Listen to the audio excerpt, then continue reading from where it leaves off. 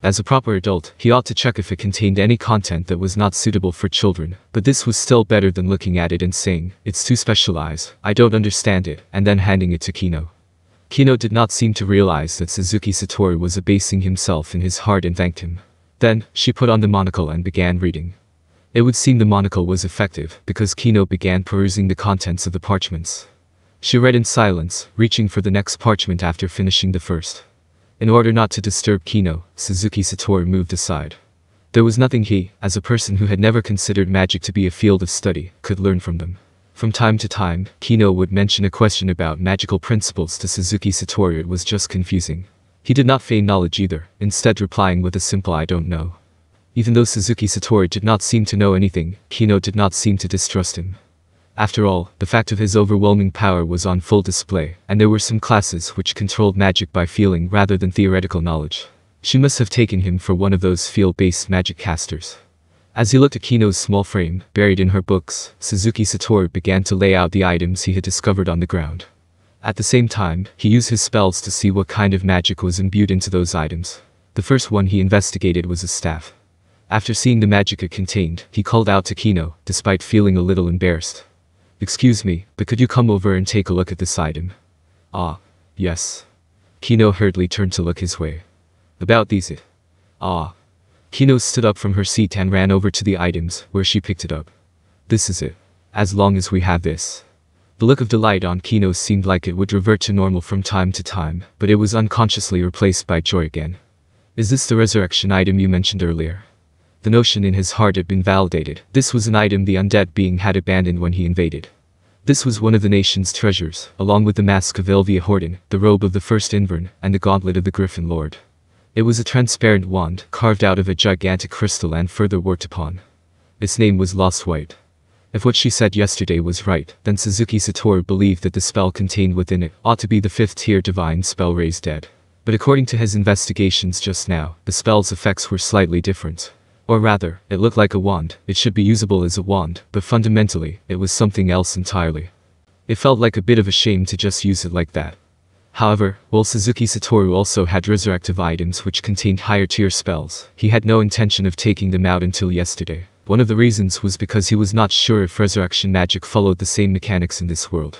But it was true that he had covered that part up. Suzuki Satoru was not nearly thick-skinned enough to be frank about that. However, Momonga now had no skin to speak of. Yes. Now I'm sure everyone can be. Keno bit her lip for a moment, probably because there was no way to save everyone with a limited use item. No, it was obvious that a powerful item would have some kind of limits on its usage. Keno was now in a position where she would have to decide who to save. Even so, we'll need to destroy them first, before we'll get a chance to restore them to human beings. Then how can I bring them back to life? A. How about ending their life as a zombie and then trying to resurrect them with this item? I see, we wouldn't be able to test it out in the castle, then Suzuki Satoru explained to a mystified Keno. While my knowledge of this nation might differ from this one, if we destroy a zombie here pardon me, if we kill someone here, it's possible that we might incur the hostility of all the surrounding zombies. In order to avoid that, we need to take our test zombie far away where it won't generate hostility. However, I have no idea how far that would be. Do you have any ideas? Ah, yes, is it like that? It isn't. The two of them looked at each other. This was not so much a divide in their understanding of the world so much as neither of them not being sure what the problem was. Therefore, they needed to discuss the gains and losses of such an action together. In the end, they decided to let Keno finish reading all the books first. This was a decision made in the hope that one of them would give her an answer, entrusting their luck to the heavens. After seeing Keno pick her books up again, Suzuki Satoru went back to examining the remaining items from that undead creature. As Suzuki Satoru picked up a silver necklace, he knitted his non-existent eyebrows. This isn't a magic item, it's an enchanted necklace. Is this kind of accessory in style? One could not equip multiple magic items to the same item slot.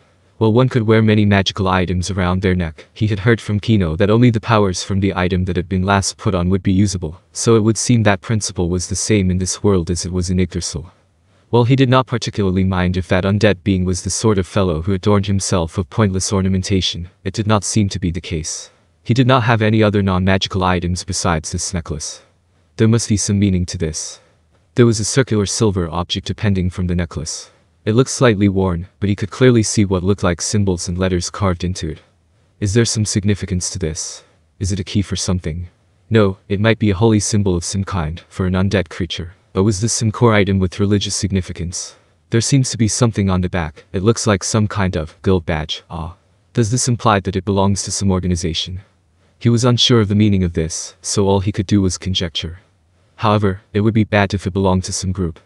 Well I'm wary because it's possible. I just have to pay that Keno knows the meaning of that emblem. Keno was speed reading, flipping rapidly through the books. From the side, he could see a tense and frightened look on her face. He probably would not be hearing good news from her. Keno-san, I'm sorry to interrupt while you're busy, but could you help me take a look at this necklace? Huh? Ah, yes, let's see, it doesn't look like letters. Are they, marks? I see. Then what about things on your end? There was a pile of books that had been read and a pile of books which had not been read. He had asked because the former dwarfed the latter. Keno sighed heavily. It was a sigh which sounded like it came from a company employee who would be working overnight. It did not sound like a sight that ought to have come from a youthful-looking girl. Firstly, those books concerned various kinds of magical knowledge. The parchments, on the other hand, contained matters that the undead being was looking into messily written research notes. But they were too complex, so it's possible I might have misinterpreted them to some extent. Keno rounded her shoulders in dejection. Her voice sounded gloomy too. It's just, that powerful undead being that I thought was the mastermind doesn't seem to have anything to do with the people of the city becoming undead. I thought so too, Suzuki Satoru mused. That undead creature had been far too weak for someone who could turn an entire city into zombies. Well I found something that looked like a diary. It only said that the undead creature you killed was also puzzled by how everyone in the city could have turned into a zombie, and that he'd like to have investigated it if he had the time. Also. Keno looked like she was about to say something, and then she changed her mind. That's all. It didn't have anything to do with that undead being. Is that so? Then what are you going to do? Even so, I still want to see if they can be resurrected. There was a hollow determination in Keno's voice. She probably understood that it would be useless. After all, she was the one who said that there might be a possibility if they eliminated the main culprit, and now she was the one saying that the undead being that Suzuki Satoru had wiped out, had nothing to do with it. That said, even if she understood, she still had to give it a try. Suzuki Satoru looked at the girl and thought about a fire. It was about how even if one was alone, there was no need to put out a fire that had been prepared for others. Is that so? In that case, we won't use your parents.